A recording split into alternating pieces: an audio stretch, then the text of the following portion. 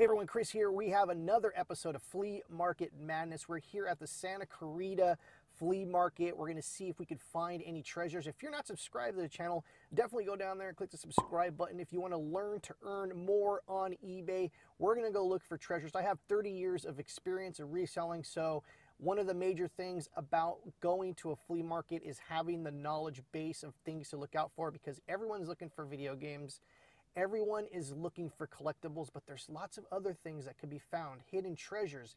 And that's what this video and this channel is all about. So if you're not subscribed, go down there and click the subscribe button. Let's go see if we can find some treasures. Welcome back to another flea market madness. It was very windy today. Stuff was blowing all over the place. And as you can see here, as we walk through this very nice entrance, uh, the ladies over there on the right were trying to anchor down their things that were blown away. And of course, California flea markets mean tools on the floor. Uh, if you've ever seen these videos, you know that tools are going to definitely be on the floor. And here we got some uh, belt buckles. I look for some of the really older ones for that kind of things. Those are definitely something uh, to look out for, old belt buckles. I thought these uh, Jeep Willys World War II Jeeps were pretty cool. Cast iron stove. Don't know much about that. I know some of those are worth some money. And we got some replica samurai swords. Gotta love those. Look out for the very vintage ones. Those things go for thousands of dollars. And you never know when those are going to pop up. But, you know, more stuff. We got some sun bleached media.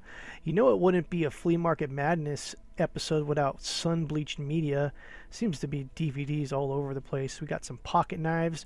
I usually look out for the ones that are made out of horns or kind of bone or anything like that.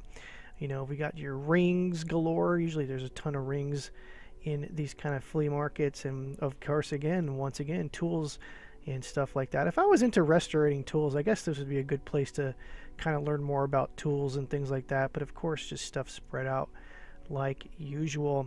And once again sun bleached media gotta love it. I'm gonna do a video. I'm gonna put some dvds out in the sun for like a month and show you what it looks like uh, before and after. Remotes gotta love those. Those are some easy money.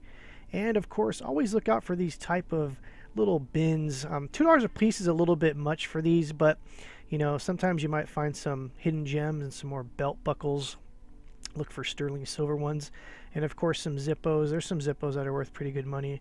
And of course, tools on the floor. Wouldn't be a California flea market with more tools on the floor. As we can see here, these are the things that I like to look out for. These just piles of junk because you never know what you can find, uh, what kind of delicious treasures could be found in these kind of things. And of course, these little knickknacks. I love glass. Glass is one of the most underrated collectibles out there because a lot of people don't know about glass, so you definitely want to go and look out for that. And of course, we had some video games and stuff, so look out for those. And as we can see here, we got some old 1992 Leaf, it looks like. A whole stack of these Luis Gonzalez rookie cards. Those are worth actually maybe a buck or two back in the day and of course you know more stuff on the floor. You never know what kind of stuff you're going to find uh, on the floor. Some video games and some kind of trays. I always look out for the vases especially Chinese imports or Chinese exports I should say. Uh, some of the Chinese stuff is going for crazy money now. And of course Southern California wouldn't be without a skateboard on the floor so tools on the floor skateboards on the floor. Gotta love it I saw this actually, this uh, VFW hat, and I almost bought this. And uh, I didn't even ask the price on it, and I, am pretty sure they wanted way too much, but it had a lot of really cool pins and stuff. So I'm kind of, this is one of the things that I'm kind of regretting not uh, going and, and asking for the price on that. And of course, you just know, you know, more table stuff, some badges, pins, and buttons and uh, watch, look out for fake silver coins. These are fake silver coins. You see the rust on them? That usually means that they're fake. And of course, Beanie Babies. I'm going to put a link up to my Beanie Baby video that's doing very well up here in the top corner. Definitely go and check that out. And of course, this was a cool little table here with a bunch of trains. Uh, I used to be into Z-scale trains when I was younger. And uh, usually the smaller, for me, the better. It's really good money the smaller the train, except for HO scale which is 157th, by the way. Some more Coca Cola. We got a General Lee. I haven't seen one of those in a long time. Dukes of Hazard, shout out. Totally 80s. And some more knickknack filigree kind of stuff. And uh, this this table actually had some really cool Coca Cola collectibles. Coca-Cola collectibles are always timeless. There's always collectors out there, so look out for that. You know, more cookware, crock pots, and differently bins of toys and plush. And sometimes you can find some really good plushes in these. These were a dollar each.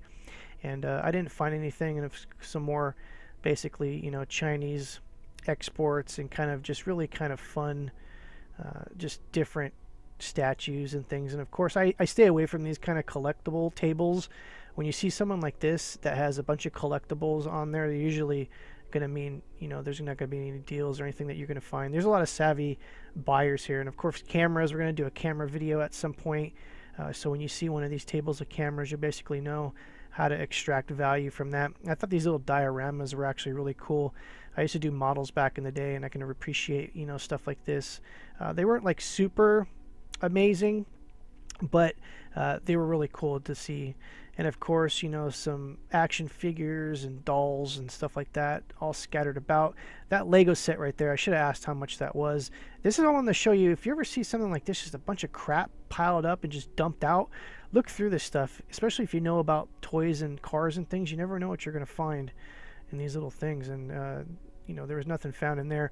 Uh, this was pretty cool. A whole stack of license plates. They wanted ten dollars each for these. I'm not sure if that's even a good value.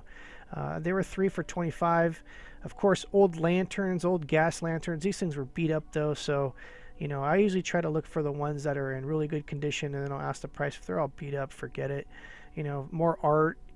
The number one thing you're going to find out there, especially money wise, you know, the million dollar thing you're going to find at a garage sale or a flea market is going to be uh, art. Of course, Trump trolls. that was so hot like two years ago.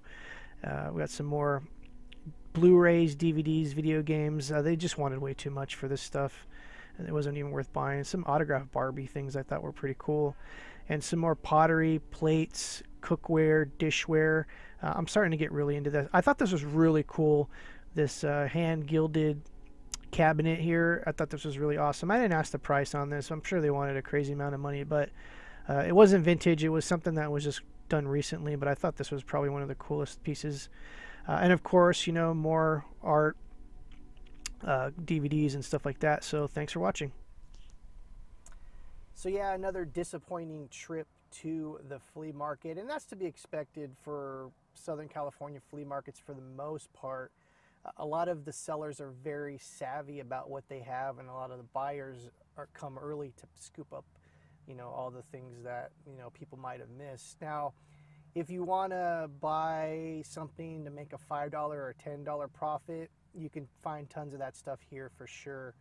For me, I've kind of evolved in my picking where I'm looking for stuff that's, you know, in the $50 on up profit range. I don't want to mess with little knickknacks and stuff. I'm actually looking legitimately for treasures, you know, whether it be uh, pottery someone missed, art someone missed, some glassware someone missed, because a lot of that stuff is things that you can find and it's worth a lot of money. And a lot of people don't know about little side niches and things like that that you can't just scan with a barcode or look up something that's a name on a box or a book. You know, I look for the stuff that you actually have to know about the particular thing and know that it's worth something. And a lot of, you know, maker's marks on potteries like that. There's glassware that's like that. Uh, there's Chinese import stuff is huge right now. A lot of people don't even know about that whole niche that watch these videos. And so there's a lot of different things that you can look for at a flea market. Like I said, I was skunked out again. I knew coming, you know, to this day that it was basically going to happen again. And uh, you just never know when you're going to find that hidden treasure in these kind of things. So, uh, like I said, we'll be back next week and we'll see if we can do this all over again. Uh, if you did see something in the previous uh, videos showing the different things, uh, let me know if I missed something. There was lots of video games here today, of course. You know, they're all collectors and sellers, so you're not going to get, you know, stuff pennies on the dollar. They're going to want eBay or below prices. So uh, there's that. Uh, if you enjoyed this video, definitely click the like button, subscribe if you want to learn more about how to sell on eBay and the different things to look out for. Uh, once again, I'm Chris, and I'll see you next time. Take care. What you know about rocking the wolf on your noggin? What you knowin' about wearing a bird box digging, I'm digging, I'm searching right through that luggage. One man's trash, that's another man's fuck your granddad. We're donating that I'm in the you can find me in the. I'm not, I'm not in the section.